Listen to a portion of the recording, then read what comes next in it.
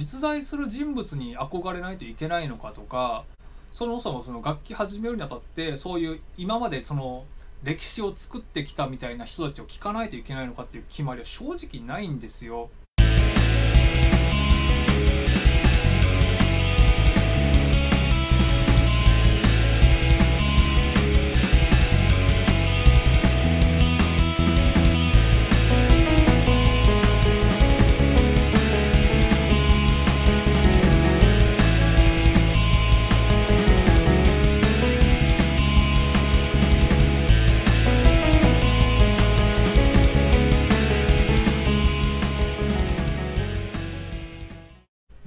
はい、ドロワニューサンドです。いつもご視聴ありがとうございます。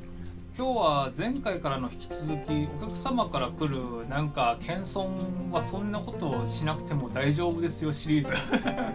言い方がわわけわかんないけど前の動画とかの続きで見てくれた人は分かると思うんですけどなんかこんなことなんですけど大丈夫ですかっていうなんかなんか疑問を投げかけられていやそんなこと別にしなくてもっていう気にしないでいいですよっていうシリーズなんですけど今日はいわゆる初めてとかこの楽器の経験が浅い人がよく言うのがなんかこの音楽をそもそもこういうなんですかねロックとかいわゆるちゃんとした音楽を聴いたりして通ってきてないんですけど大丈夫ですかっていう話がなんかこう疑問として投げかけられたりするんですよねお客様から。いやそれ別にどうでもよくないって思うんですよね。なんかやっぱり今ってこうネット社会だからやっぱりなんか批判するなんですかねやっぱり多分いい情報より悪い情報の方が多いからやっぱりこのネットのそのなんだろうな世界に出ちゃうとやっぱり批判が多いと思うんですよ。例えばこうロックも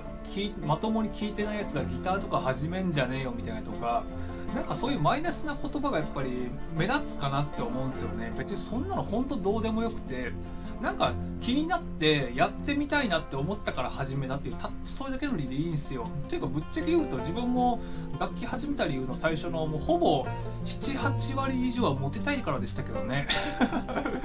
まあなんかやっぱりでもギター始めた理由があの x ジャパンのヒデが好きでそれが理由であのギターやってみたいので始め、まあ、ちょっとそれもまた後で語るんですけどそれのきっかけがあってただそれは確かにあったんですけどその付加価値というかそれプラスギター始めたらもしかしたらモテるんじゃないかなってやっぱ思ってから始めたんですよね。だからもう最初は半々だったのがどっちかっていうとモテたい気持ちの方が勝っちゃってなんか最終的に8割ぐらいだった気がするんですけど、まあ、結果として学生時代は全くモテてないですけどね。まあでもどっちにしろそういうなんか理由は何でもいいんですよ。初めの一歩は別に何でもよくてその初めの一歩を踏み出して実際ものそのものを触ってやってみてあこれいいなとかで実際触ってみてやっぱこれなんか自分に向いてないっていうかそんなに良くなかったなって思うんだったらそれまでっていうかそれでいいと思うんですよ。だからよくあるのが楽器始めてすぐ辞めた人とかも批判する言葉もやっぱりネットには出てきたりとかするんですけど別にその人の判断だからよくねって思うんですよね。だから最初のギターはなんか安いギターでいいと思うんですよ。やっぱり続けるか続けないかって分かんないから。その最初の入り口でいいなって思ってこれずっと続けてやっていけそうだなって思ったらちゃんとしたギター買えばいいかなってちゃんとしたっていうかその人が言う思うなんか理想のもの。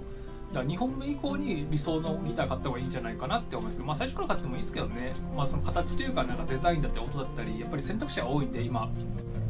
でなんかやっぱ今って音楽がもう多様化してきてバンドじゃない音楽も例えば多いじゃないですか。まあバンドじゃないって言ってもいろいろあるけど、まあ、最近って最近っても昔から流行もう今ってアイドル全盛期じゃないですかいまだに。だからなんかアイドルのなんだろうなお客様っていうんですか？このアイドルど何かしらのアイドルファンが何きっかけかは知らないんですけどなんかまあギター始めてギター買ってそれが何かしらったからうちに来たって人もやっぱ中にそういう例外あるんですよ。別にそそれもなんか悪い話じゃなくてあのちなみにですけどあのまあそのまあでも全般そうじゃないかな今。あのアイドルの曲ってバンドマンが作ってること多いんですよ。だからよくなんだろうなアイドルって結構バカにされるんですけどあ別に自分がアイドルってわけじゃないですけどあのアイドルってなぜかバカにされることが多いような印象があるんですね自分の中で。でも今のアイドルって例えばバンドマンの副業当時地下アイドルがそうなんですけどバンドマンが例えばアイドルの子たちが曲作っまあ曲っていうかまあ事務所なんですけど曲作ってくださいってことを何かしらどっかに依頼してで曲を作ったものをそれで売るっていう、まあ、そういう曲商売が結構成り立ってるんですよ。でそこでいわゆる売れてないバンドマンが 言い方ちょっと失礼なんですけどなんかその副業で曲作ってそういうとこになんか曲を提供してお金を稼いでるっていうビジネスモデルがあるんですよね。でどっちかっていうと自分のバンドよりもそっちの方がうまくいっちゃって今ではちょっとしたなんかプロデューサー曲のプロデューサーみたいになっちゃってるってバンドマンもいたりするんですよ、まあ、そこら辺は多分公表してないと思うんですけど意外といたりしますよ。だから結構音楽のことを分かってて音楽をこう本職にしてる人たちが意外とこういうなんすかバンバンドじゃないアイドルの曲作ってたりするから最近の地下アイドルって結構かっこいいんですよね。だからなんかちょっと昔話なんですけどなんか秋葉原になんかドラッグストアとなんかあのなんとかドラッグみたいななんかこの薬局とライブハウスがなんかくっついてるとこあったの知ってます？なんだっけあれ場所場所がちょっとなんなんとも言えないですお茶の水寄りのなんて言ったっけ？そのそのなん薬局に入るともうステージが見えるんですよ。そういうところが昔あったんです。今はなんかこの今もあん今ないか？ななんだっけ？なんかに変わってますよね。それがあったんですよ。どういうことかっていうとその薬局行くとアイドルのライブが見れてたんですよ。その普通に入るだけで。でそこで自分がびっくりしたのがあその時初めて気が付いたんですよ。え今のアイドルかっこよくないかって。それでなんですかね結構バチバチっていうかバチバチってなんです。かこの結構結なんかバンドっぽい音楽で結構楽器もなんかいわゆる自分のイメージアイドルのイメージやっぱ世代がそうだから自分のアイドルのイメージってあのモーニング娘。とかのやっぱ世代なんですよ。AKB じゃなくて。だからなんかちょっとなんかキラキラとしてて何ていうのダンスっぽいっていうんですかね。ちょっとなんか音楽ってよりかはなんかそのワイワイガヤガヤちょっとまあちやほやって言い方ちょっと失礼かもしれないですけどなんかそういうイメージがあったからキャピキャピしてるっていうかなんかそういうイメージがあったからなんか自分の中でその当時はアイドルっていうことを下に見て見てたんですよね。やっぱり自分もそうだったんですけど。それがその薬局に入ったことがきっかけであれなんか今の力でかっこいいなってことに気がついたんですよ。でそれでなんかそういう話をしてるといや実は自分もどこどこのアイドルに曲を提供しててっていうバンドマンっていう、まあ、お客様が多かったりするのでバンドマンのそういうのをこれ自分が話するといや実は自分もどこどこのアイドルに曲書いてましてっていう人が結構多いんですよね。まあ、ちょっと名前はあれあれでもありそうだねなんか公表してるかどうか分かんないから出せないですけどそういうなんか意外と力入れてる音楽がなんか意外と自分が知らない世界で展開してってるんだなって思うとなんかその辺もバカにならないなってだから知らないだけでなんか決めつけはどうかなって実際そのなんか物に触れてそのさっきの楽器の始める方と一緒なんですけど意外とバカにしてたものが実際その現場に行ってみたらあ結構いいじゃんってことも意外とありますからなんか知らないだけで何かものを批判するのはどうかなって思いますけどね。っていう自分は特にアイドルのライブ行ったりとかしないですけど。あでもなんかなんだっけアリス10番とかあの辺好きですけどね。こう曲聴いたりする限り。ななんだろうな。うん、あとなんだっけあの巣鴨に獅子王ってライブハウスあの知ってます？その巣鴨の獅子王ってちょっと自分何回か行った時のそのイベントだけなんですけど結構そのごちゃ混ぜのイベントごちゃ混ぜっていうか例えばそのまあバン、まあ、ライブハウスだからバンドじゃないですけどバンドなんですけどイベント上。ただその中に例えば普通のバンドアイドルギャルバンビジュアル系とかなんかそういうなんかイベント一つのイベントにすごいジャンルごちゃ混ぜのイベントとかが結構あったりするんですよ。それが意外と面白くてやっぱりあの自分がこの見に行くライブってやっぱりその限定されちゃうじゃないですか。そういう系のなんかバンドの集まった対バンイベントみたいにして。だからそういうジャンルまあそのジャンルが好きだったら楽しめると思うんですよ。最初から最後まで。でもなんかやっぱりもうみんな味付けが一緒だからやっぱりなんかたまには別のバンド見たいよねっていう気持ちなんかわかると思うんですけどなんか例えばメタルだったらもうメタルばっかだとやっぱ聞き疲れちゃうからたまにはちょっとしたなんすかねポップスとかも聞きたいよねみたいなそういうのが獅子王ってその巣鴨獅子王で結構あったりとかするんですよ。でしかもそのいわゆる知らないジャンルのこのバンドが出てきたりするからそういうの見てたらあれ意外といいなっていうのをやっぱ思ったりするんですよね。なんかまあ経験上そのギャル版のライブ見に行くこともあんまないしアイドルのライブもほぼ見ないからそういうのがたまたまお客様が出るライブってことで見に行った時にそういうのをついでに見たりするとあれ意外といいんだなっていう気がつくんですよね。だからそういう意味ではその演者側も全く知らない人たちにこの新しい新規開拓っていうかからそういう人たちに良さを届けられるイベントでもあるから今後そういうイベントもなんか主流になってくるんじゃないかなって思いますいわゆる同じジャンルの対話イベントだけで、まあ、あんまりいい言い方じゃないですお客様を取り合うみたいなそういうのはもう古くてやっぱりもう本当に関係ないジャンルに飛び飛び込んでってそこから新規開拓していくっていうのがやっぱ今後のバンドのなんかなんですかね展開の基準になってくるのかなって思いますけどね。ていうかもうジャンル関係ないじゃないですか。関係ないっていうか例えば自分が気に入った音楽がどうであれ結局好きだったら聴くじゃないですか。その人がななんすかね。例えばななんて言い方したんだろう。例えば相手がオカマだったと関係なくないですか？これ変な言い方ですけどね。なんだろうな。例えば皆さんで言う例えばあいみょんさんがいるじゃないですか。まあ別にあいみょんさんって別に知り合いでも何でもないですけど例えばなんだろうな。もうなんて表現したいんだろう。あの人がなんか実は男が嫌いで女好きとかだったとして関係なくないです か？なんかなんか言い方なんで言えばいいのか分かんなくなっちゃったんですけど別にその人の人間性とかってどうでもよくて曲がいいから聴くわけじゃないですか？でそれになんか例えばそれ知らなかったらそのなんすかその人の存在でないようなもんじゃないですか？だからそれがたまたまそういうごちゃ混ぜのイベントがあってたまたま来てた人が見ることによってその人の存在を知ることによってその人が好きになるっていうこともよくあるんですよ。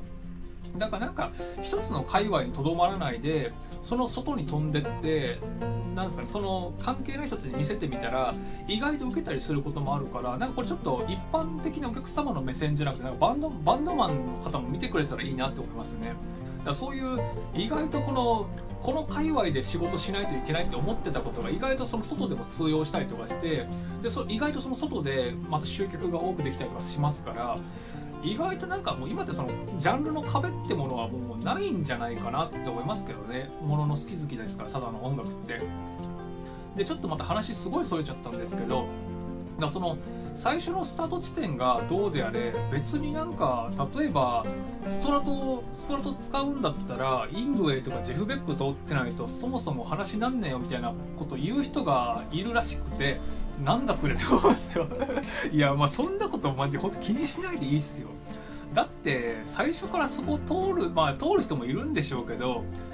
なんだろうな自分ってまあこれちょっとこれもまたあんまり言い方良くないですけどなんか人間だけで見たらかまあジェフ・ベックはかっこいいと思うんですけどまあ、好きな人には申し訳ないんですけどなんかまあまあ、まあ、まあ、正直な気持ちが言いますけどイングウェイでもデブのおっさんじゃないですか。いや申し訳ないですね好きな人がいたら本当に。憧れるかって話なんですよ。これなんだっけ？ホリエモンも言ってた話なんですけど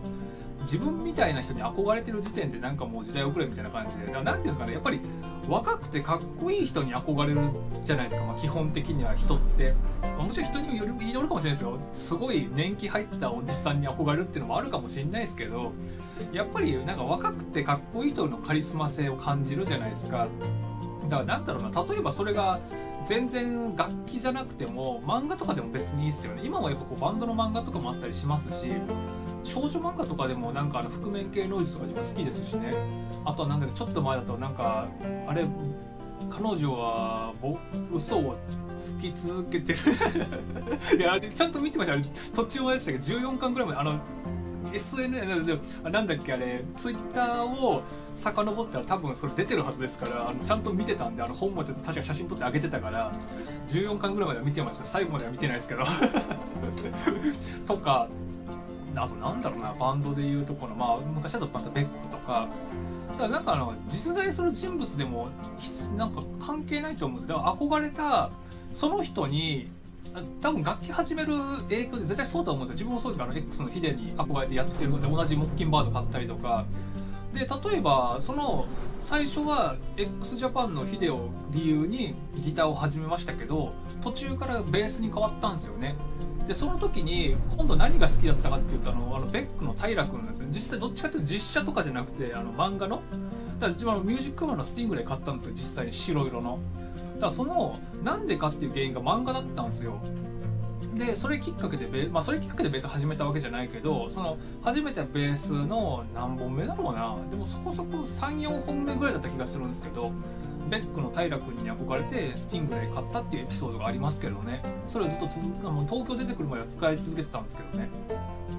だから別になんか実在する人物に憧れないといけないのかとかそもそもその楽器始めるにあたってそういう今までその歴史を作ってきたみたいな人たちを聞かないといけないのかっていう決まりは正直ないんですよ。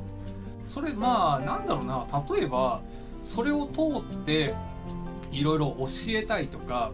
なんかそういうルーツをたどってってそれをなんか自分の演奏のものにしたいとかいわゆるなんか向上のためっていうか勉強するためだったらやっていいと思うんですけど別にそうじゃなくて楽しみたい多分そうなんですよ。大体の人ってまず先に楽しみたいから入ると思うから楽しみたいっていう目的がまず第一条件にあるんだったら別にそこを通らなくてもよくねって思うんですよ。だってそのあその前の動画でもそうですけど結局音楽ってあの味覚なんでカレーが好きじゃない人にカレー勧めてもそれいや嫌いだしっていう話ですからそもそもその人の音楽とかがそうでもなかったら別に好きになることってないと思うので、まあ、好きになる努力したら好きになるのかもしれないですけどね。楽器のこと弾いて分かってったらあこの人の演奏味があるなみたいなとかで、まあ、それはその時でその時で分かればいいと思うんですよ。初めのうちが分かる必要なくて。だから例えばなんかいわゆる売れてる音楽が正しいもんだとしたら今ってアイドルが正しいことになるからバンドじゃないんですよそもそも。だからなんかそうなってなんか有名とか売れてるってことを第一条件になんかその正しいものとするのであれば今の音楽って正しいものってアイドルとか世界で言ったらヒップホップとかになるんじゃないですかねバンドじゃなくて。だからバンド多分一番じゃないんですよ売れてる音楽としては。だから別に関係なくないって思いますけどねだから自分その子供の時から x ジャパン好きじゃなく好きっていうわけじゃなくてそもそもいつぐらいだろうな知ったの中学生ぐらいかな？なんかあのこれすごい面白い話としてあの小泉首相が出てきたことできっかけなんですよ。小泉首相ってあのあれですよ総理のあの人フォーエバーラブを CM で使ってたじゃないですか。あれきっかけで x ジャパン知ったんですよ自分。